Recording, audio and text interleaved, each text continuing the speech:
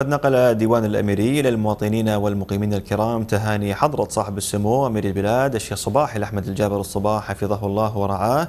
بمناسبة شهر رمضان عاده الله تعالى على وطننا العزيز والمواطنين الكرام بوافر الخير واليمن والبركات.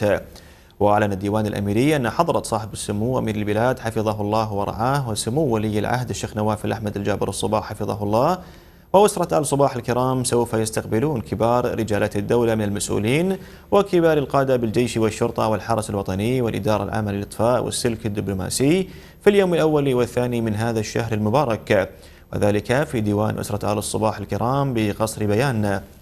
كما أعلن الديوان الأميري عن اعتذار حضرة صاحب السمو أمير البلاد حفظه الله ورعاه عن استقبال إخوانه وأبنائها المواطنين والمقيمين الكرام لهذا العام سائلا سموه المولى عز وجل أن يمن عليهم بالصحة والعافية وأن يتقبل صيامهم وقيامهم بالخير والبركة.